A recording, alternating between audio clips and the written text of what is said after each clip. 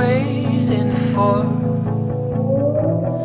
my words to catch like I'm trying to strike a match that's soaking wet. See